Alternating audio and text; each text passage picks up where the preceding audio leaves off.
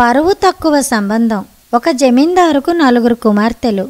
వాళ్ళకు పెళ్ళియుడు వచ్చాక ఆయన ఒక్కొక్కరికి ఘనమైన సంబంధం చూసి అల్లుడు ఇల్లరికం ఉండే షరతు మీద పెళ్ళిళ్ళు చేశాడు. జమీందారు నాలుగో కుమార్తె వంతు వచ్చింది. చిన్నతనం నుంచి తమ ఇంటనే పెరిగి చాకిరీ చేసే రాముడు అనే అనాథను తప్ప మరొకరిని చేసుకోనని ఆ పిల్ల పట్టుపట్టింది. జమీందారుకు ఇది ఏమాత్రమూ ఇష్టం లేదు. అయినా ఆయన తన ఆఖరు కుమార్తెను రాముడికిచ్చి పెళ్ళి చేసి ఆమెతో నీ భర్తను నేను ఇల్లరికం ఉంచుకోను. నువ్వు వెళ్ళి వాడితో పాటు విడిగా కాపరం చెయ్యి. నీ ఇష్టం నెరవేర్చాను గాని నీ మూలంగా నీ అక్కలకు వాళ్ళ భర్తలకు అవమానం చెయ్యలేను అని చెప్పాడు. ఈ సంగతి వింటూనే రాముడు పారిపోయాడు.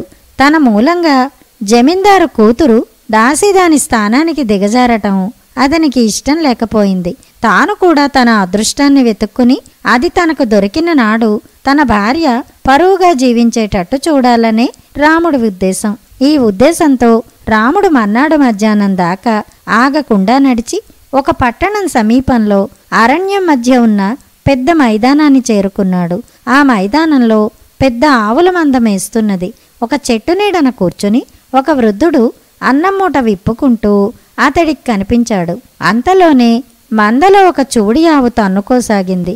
విప్పిన అన్నం మూటను అలాగే వదిలేసి వృద్ధుడు ఆ ఆవు వద్దకు వెళ్ళి అది ఈనిన దాకా ఉండి చెయ్యవలసిందంతా చేశాడు. వృద్ధుడు అలా వెళ్ళగానే అన్నమూట దగ్గరికి కాకులు కుక్కలు రాసాగాయి. రాముడు వాటిని తరిమేసి వృద్ధుడు చేతులు కడుక్కొని వచ్చిన దాకా ఆ మూటకు కాపలా కాశాడు. నా భోజనం కుక్కల పాలు కాకుల పాలు కాకుండా కాపాడి చాలా మంచి పని చేశావు. ఎవరు నువ్వు? ఎక్కడి నుంచి వస్తున్నావు? అంటూ వృద్ధుడు రాముణ్ణి ప్రశ్నలు వేశాడు. బతుకు తెరువు కోసం వెతుక్కుంటూ పోతున్నాను. నాకు ఒక ఊరు అంటూ లేదు. నాకెవరూ లేరు అన్నాడు రాముడు. వృద్ధుడు రాముడికి తన భోజనంలో కొంత పెట్టి తన సంగతి అంతా చెప్పాడు. ఆ వృద్ధుడికి వంద ఆవుల మంద ఉన్నది. ఆ ఆవులు తప్ప ఆయనకు వేరే పిల్లలు లేరు. ఆవులను కాయటానికి మనుషులను పెట్టుకుంటే వాళ్ళు ఆవులను అమ్మేసి డబ్బు చేసుకుని తప్పిపోయాయని చెప్పారట. వాళ్ళతో వేగలేక తన మందను ఆయన తానే కాస్తున్నాడు. మీరు ఈ వయసులో సుఖంగా కూర్చోక ఆవులను కాయటం ఏమిటి? ఆవుల సేవ మీ సేవ కూడా నేనే చూస్తాను. మీకు తోచింది ఇయ్యండి అన్నాడు రాముడు. అందుకు వృద్ధుడు సమ్మతించి రాముణ్ణి పనిలో పెట్టుకున్నాడు. ఆవులను పాలు పితకటము పాలు అమ్మి డబ్బు తేవటము మందను మేతకు తీసుకుపోయి ఇంటికి చేర్చటము రాముడే చెయ్యసాగాడు. రెండు వారాలు రాముణ్ణి గమనించిన మీదట వాడు నిజాయితీ గలవాడని వృద్ధుడికి తెలిసిపోయింది. ఆయన రాముడితో నీకు నేనే మంచి సంబంధం చూసి పెళ్ళి చేస్తాను అన్నాడు. లేదండి నాకు పెళ్ళి అయింది. ధనం సంపాదించటానికని ఇలా బయలుదేరాను అంటూ రాముడు జరిగినది ఏదీ దాచకుండా వృద్ధుడికి చెప్పాడు. వృద్ధుడు అంతా విని అలాటప్పుడు నువ్వు ఇంతకన్నా మంచి పని చూసుకోకపోయావా? నా దగ్గర పని చేస్తే నీకేమి గిట్టుబాటు అవుతుంది? అన్నాడు. రాముడు నవ్వి నేను ఇంతకన్నా రాబడి వచ్చే పని ఏం చేయగలను బాబు?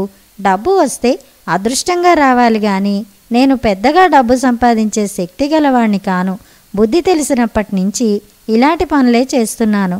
అదీ కాక ఇల్లు వదిలినాక మొట్టమొదటిగా మీ చేతి అన్నం తిన్నాను. మిమ్మల్ని సుఖపెట్టటమే నాకు పదివేలు అనిపించింది అన్నాడు. వృద్ధుడు మాట్లాడలేదు. కొన్నాళ్ళు గడిచాక ఆయన రాముడితో ఒరే నాయన ఆవులకు కొత్త పాక వేస్తే బావుంటుంది. ఈ రాత్రికి నేను గుర్తులు పెట్టిన చోట గుంజలకు గోతులు తవ్వు.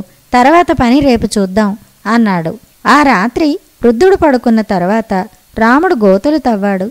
రెండు గోతులలో ధనపు బిందెలు దొరికాయి. రాముడు వాటిని లోపల పెట్టి తెల్లవారగానే వృద్ధుడికి ఇచ్చేశాడు. వృద్ధుడు వాటిని చూసి నువ్వు ఎదురు చూస్తున్న అదృష్టం నీకు కలిసి వచ్చింది కదా వాటిని తీసుకుని నీ భార్య వద్దకు వెళ్ళకపోయావా? అని రాముడితో అన్నాడు. అవి ఆయన కావాలని పెట్టిన బిందెలే. మీ సొత్తు నా అదృష్టం ఎలా అవుతుంది బాబు? అన్నాడు రాముడు. లేదు లేరా నా ఆస్తికి అంతకు నువ్వే వారసుడివి.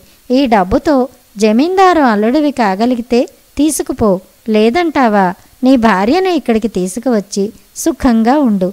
నువ్వే నా కొడుకువు నీ భార్య నా కోడలు అనుకుంటాను అన్నాడు వృద్ధుడు. రాముడు వెళ్ళి తన భార్యను వెంట పెట్టుకుని తిరిగి వచ్చి వృద్ధుడి ఆస్తికి వారసుడై సుఖంగా జీవించాడు. కథ కంచికి మన ఇంటికి.